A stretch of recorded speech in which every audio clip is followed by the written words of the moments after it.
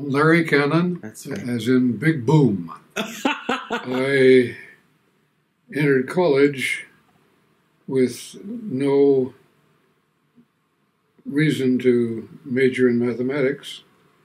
I was interested in many different fields, but many of them required some mathematics.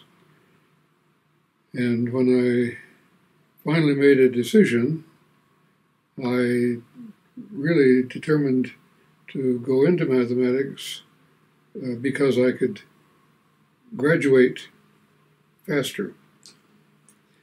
And that year I took a lot of mathematics courses and, and found out I like mathematics better than anything.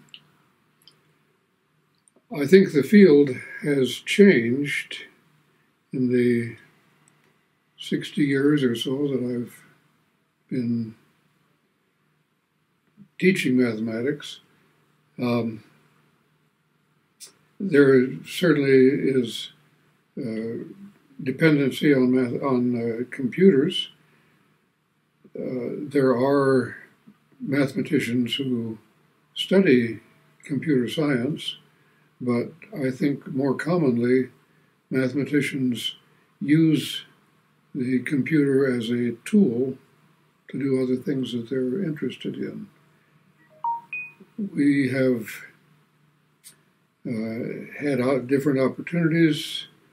Uh, one of the things that uh, a small group of us did was to design some interactive computer applets that uh, students from junior high school or from uh, early grades through college can uh, explore on their own. It's called the Library of Virtual Manipulatives, and uh, we are continuing to work on it, even though the uh, National Science Foundation funding is no longer available to us.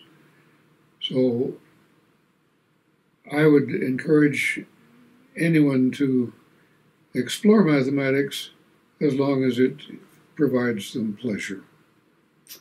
And you ought not to do anything that isn't fun to do.